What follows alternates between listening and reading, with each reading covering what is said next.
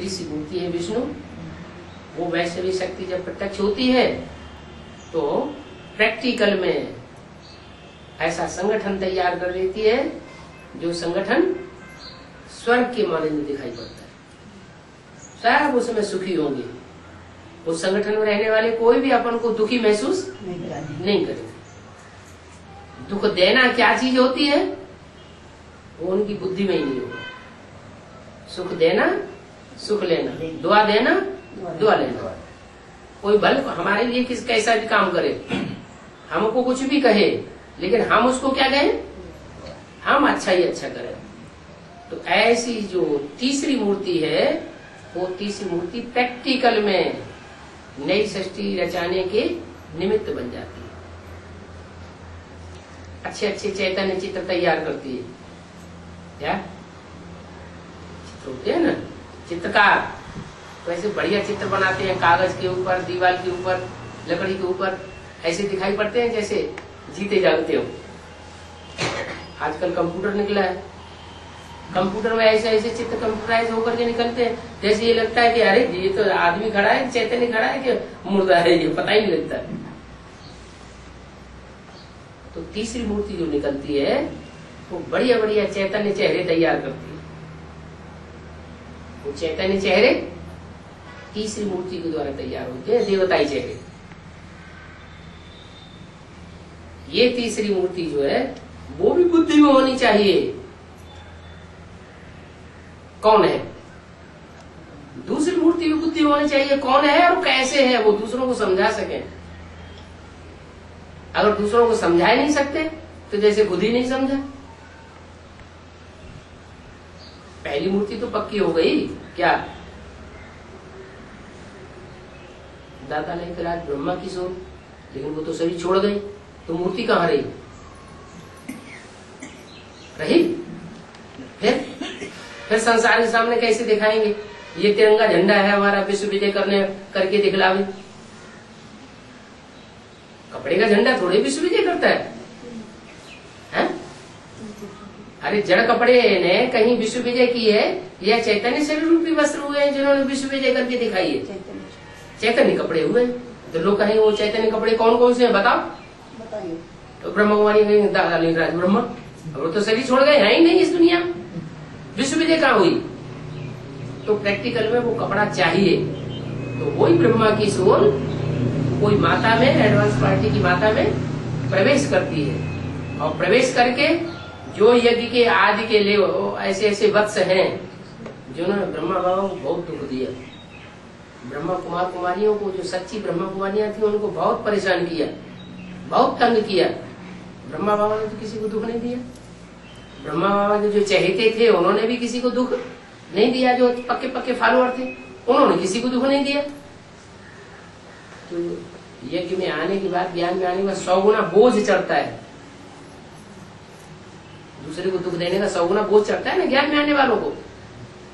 वो सौ गुना बोझ कब पूरा होगा। है?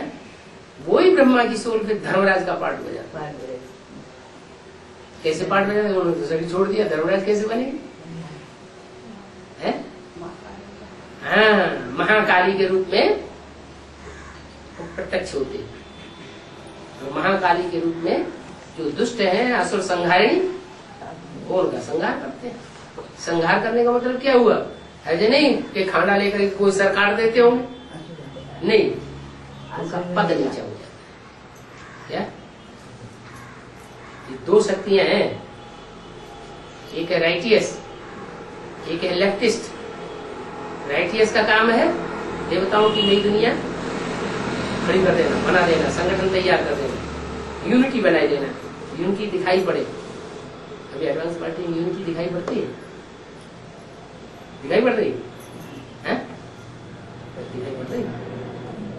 दिखाई पड़ रही? यहाँ कोई ये कोंकण देश में कोई ऐसी गीता पाठशाला है जहाँ पाँच पांडव इकट्ठे होकर के रोज क्लास करते हो? है कोई? है?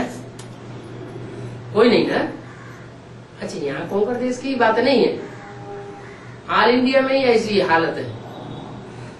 कोई एक दूसरे से बात नहीं करना चाहता। अव्यक्तवाणी में ही बोला हुआ है। क्या?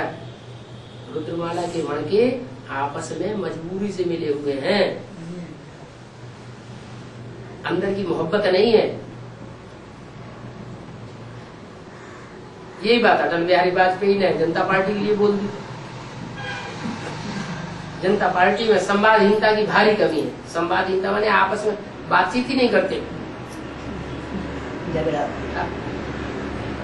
टेढ़ी गर्दन करके रहते हैं प्यार से बात नहीं करेंगे। तो ये यूनिटी बनाने का काम किसका है? प्योरिटी की देवी का। वो प्योरिटी की देवी संसार में प्रत्यक्ष होती है वैष्णवी शक्ति के रूप में और नई दुनिया का संगठन बन के संसार के सामने पहले ब्राह्मणों की दुनिया के सामने फिर सारी दुनिया के सामने प्रत्यक्ष होता है। इसलिए दूसरे धर्म के शास्त्रों में भी गायन है जन्नत का। हिंदू में तो गायन है ही वैकुंठ का। लेकिन मुसलमानों में भी गायन है जन्नत का। अंग्रेज़ों में गायन है पैराडाइज का। वो लोग मानते हैं अभी भी। क्राइस्ट के तीन हज़ार वर्ष पहले लॉर्ड कृष्ण का राज्य था।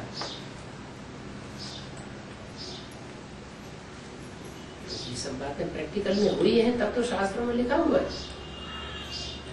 तो तीसरी मूर्ति भी बुद्धि में इस तरह बैठनी चाहिए कि हम दूसरों को समझा सके। ऐसे बुद्धि रूपी पॉकेट में वो चित्र पड़ा हुआ वो चैतन्य।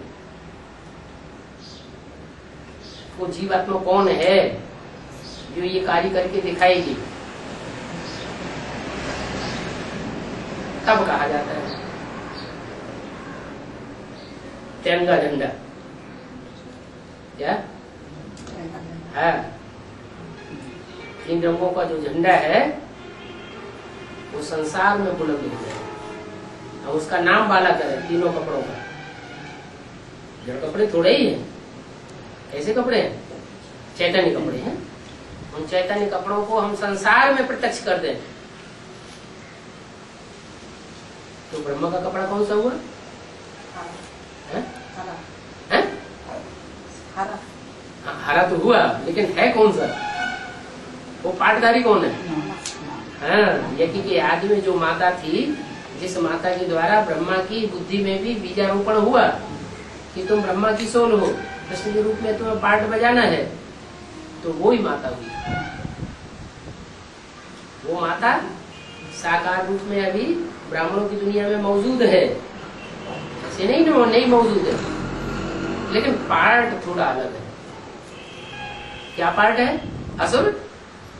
असुर संहारी जो असुर हैं ब्राह्मणों की दुनिया में, उन सब असुरों का पत्ता साफ़ करना माना, ऊंच पद जो है, वो खलास हो जाएगा। नीच पद बनेगा। ऊँचा पद नहीं बन सकता। इसलिए दो तरह की देवियाँ गाई हुई है। एक शाकाहारी और एक मांसाहारी। मांसाहारी मन? जिन असुरों में देहभान भरा हुआ है उनके देहभान को खा जाती है। है इसलिए जो काली का मंदिर है जहाँ जहाँ खास करके कलकत्ते में तो वहाँ मैं ये, ये बकरे की बलि चढ़ाई जाती है। बहुत मैं मैं करते हैं। मैंने ये किया मैं ऐसा किया मैंने इतनी सेवा की। उन बकरों की बलि लेने वाली शाकाहारी मांसाहारी। है? शाकाहारी और मांसाहारी दो देवी दो तरह की देवियाँ हैं। शाकाहारी कौन शाकंबरी देवी शाकाहारी है। माना मांस मछली नहीं खाती है। हाँ मांस मच्छी का मतलब क्या हुआ?